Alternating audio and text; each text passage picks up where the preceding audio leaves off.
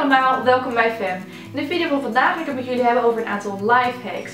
En mocht je nou niet weten wat lifehacks zijn, Jamie heeft er al eerder een keer een video over gemaakt die je hier terug kunt vinden. En lifehacks zijn eigenlijk gewoon simpelweg een aantal trucjes die je kunt toepassen in het dagelijks leven die het voor jou net iets makkelijker maken. Je hebt bijvoorbeeld op beautygebied heb je heel veel verschillende lifehacks, maar ook gewoon uh, voor als je naar school gaat. En ja, echt van allerlei soorten lifehacks zijn er in het leven. En ik heb gewoon een aantal random lifehacks verzameld die ik graag in deze video aan jullie wil laten zien. Dus mocht je benieuwd zijn naar mijn favoriete lifehacks op dit moment, blijf dan vooral kijken en ik wens je veel plezier. Lifehack nummer 1. Dat is een uh, simpele manier om je sleutelbos dus uh, te herorganiseren. Of in ieder geval de sleutels van je bos af te halen op een gemakkelijke manier. Ik heb heel erg vaak zitten klungelen met dat ding. Ik wist gewoon niet hoe ik mijn sleutel eraf moest krijgen zonder geweld. Ik heb heel veel nagels gebroken de afgelopen jaren omdat ik gewoon niet wist hoe dat, het, zit, het zit gewoon allemaal te strak, zeg maar, als je je sleutel aan een sleutelbos doet. Het is echt gewoon heel erg lastig om dat eromheen te krijgen, want het is natuurlijk uh, ja, metaal, ijzerdraadje en het is gewoon altijd priegelen. En ik was het gewoon zelf dat ik op internet ging kijken naar een aantal tips, uh, of in ieder geval trucjes die ik kon toepassen om die sleutel op een makkelijke manier af te halen. En ik heb hem gevonden. Ik heb gewoon de manier gevonden om je sleutelbos te herorganiseren. Of in ieder geval je sleutel er op een makkelijke manier af te kunnen halen. Het enige wat je daarvoor nodig hebt is een ontnieter. En ik denk dat we allemaal wel een ontnieter in huis hebben. Of misschien heeft je moeder of je vader die op kantoor. Of in ieder geval ergens in huis liggen. En dat is zo'n ding die je zeg maar, kunt gebruiken om nietjes uit een blaadje te halen. En deze die kun je dus gebruiken om ook je sleutelbos um, los te maken. Of in ieder geval om je sleutel eraf te kunnen halen op een gemakkelijke en pijnloze manier. Want ik weet hoe akelig het kan zijn als je nagel eronder drukt onder dat, dat ijzeren dingetje. En dat je nagel dan vervolgens verprutst is of je nieuwe nagellak is eraf. En ja, dat is gewoon not Dus wat je doet is, je pakt je sleutelbos. Je doet dat om niet dat je tussen je sleuteldraad um, in, dus eigenlijk gewoon het ringetje, daar doe je tussen. En zo heb je gewoon meteen weer speling en ruimte om je sleutel er tussenuit te halen. Heel erg makkelijk en ik denk dat iedereen het wel in huis heeft. En dit is gewoon de meest makkelijke en beste manier die ik heb kunnen vinden om je sleutel eraf te kunnen halen.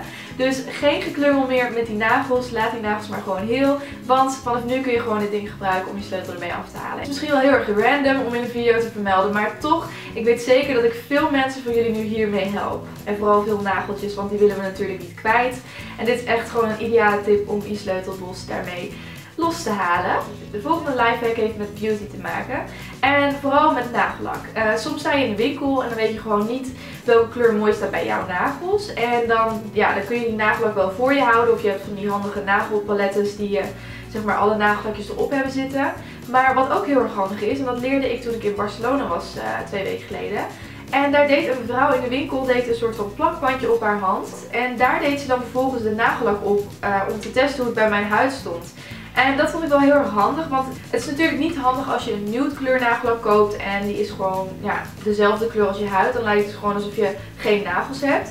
Dus daarom vind ik het heel erg handig dat ze dat doen in winkels, zodat je gewoon precies ziet hoe die kleur staat bij jouw nagels. En ja, wat kan je dan beter gebruiken dan een sticker of iets van plakband wat transparant is. Dat plak je op je hand. Je legt het eventjes bij je nagel, zodat je kunt zien hoe het eruit ziet op jouw nagels. En natuurlijk, je kan ook in de winkel gewoon een nagellak aanbrengen over jouw nagels heen. Als je gewoon geen nagellak op hebt op dat moment. In de winkel hebben ze altijd wel plakband. En ze kunnen jou echt wel eventjes helpen met een strookje. Zodat jij weet of die nagellak goed staat bij jouw nagels. Of in ieder geval bij jouw huidskleur.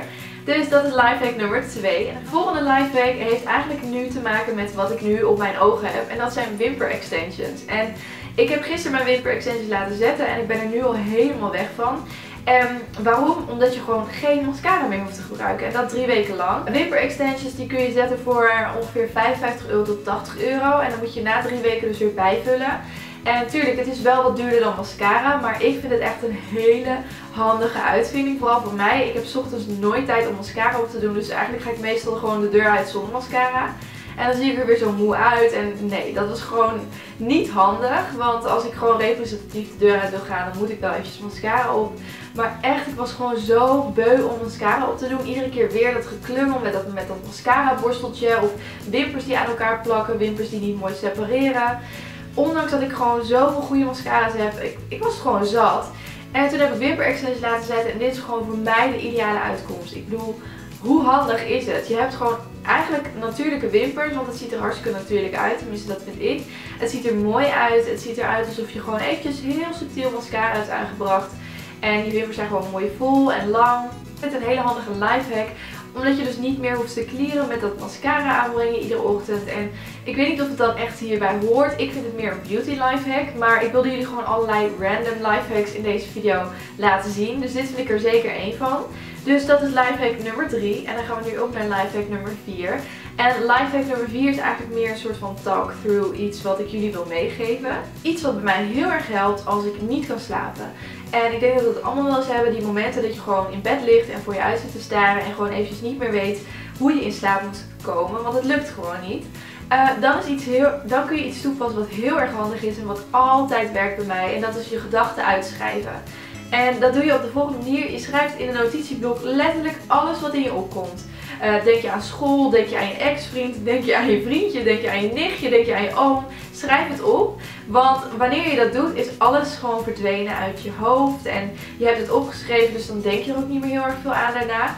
En wat is gebeurd, omdat jij het hebt uitgeschreven, kun je daarna gewoon slapen. Want het spookt niet meer in je hoofd, omdat je dus hebt uitgeschreven op een papiertje. Dus dan ben je eigenlijk ook gewoon kwijt wat je kwijt moest. Dat is ook een hele handige lifehack vind ik. Want je kunt gewoon dus je gedachten uitschrijven en op die manier kun je weer gaan slapen. Dus probeer het eens. Mocht je niet kunnen slapen, doe het. En je zult versteld staan dat je gewoon dus daarna weer lekker kunt slapen. Dus dat is lifehack nummer 4. En dan heb ik nu een laatste lifehack voor jullie.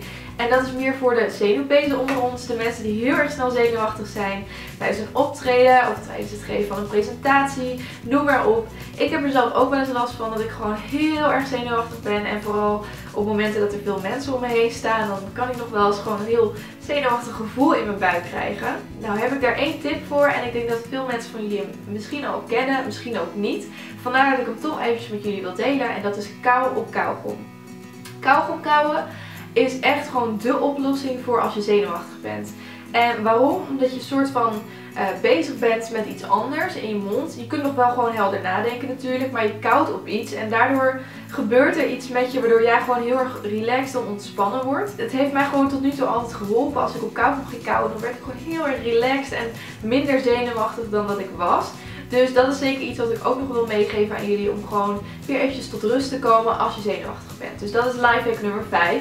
En dat is eigenlijk de laatste lifehack alweer. Ik, uh, ja, ik ben er nu eventjes doorheen.